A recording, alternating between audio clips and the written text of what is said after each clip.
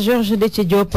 Bonjour Binta Diallo. Le virus Ebola fait peur. Le Sénégal est en alerte. La diarrhée rouge en Guinée, il y a de quoi mettre en garde. Attention, la fièvre d'Ebola rôde aux portes du Sénégal.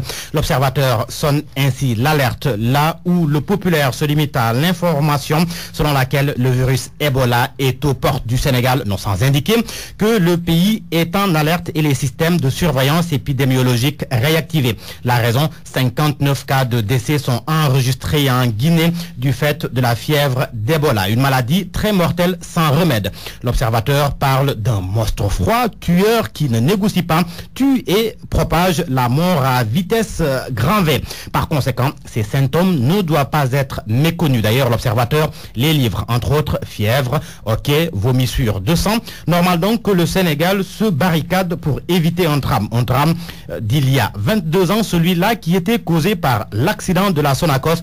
C'était le 24 mars 1992. Enquête effectue un retour sur les lieux du drame et recueille les témoignages émouvants des miraculés de cet accident qui avait fait une quarantaine de morts. Enquête nous apprend que le nombre de victimes du nuage toxique a finalement atteint le chiffre de 129 morts. une véritable catastrophe qui était due à l'explosion d'une citerne d'ammoniac.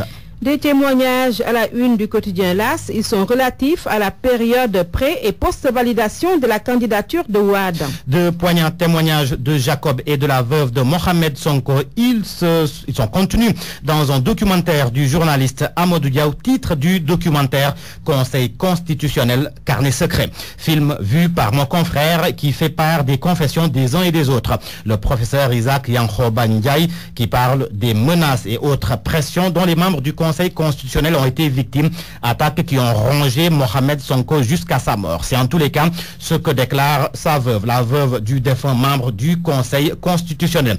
Toujours dans le milieu judiciaire, mais loin des documentaires et autres films, l'affaire Hissène Abré continue de faire débat. Et dans le quotidien, c'est le procureur général près les chambres africaines extraordinaires qui fait dans les révélations, selon Bakefal, une présumée victime est menacée depuis Dakar. Selon le magistrat, elle a reçu des appels d'intimidation de la part d'une personne qui appelait du Sénégal. Chose à tirer au clair et Mbakefal, selon le quotidien, compte saisir l'ADIC.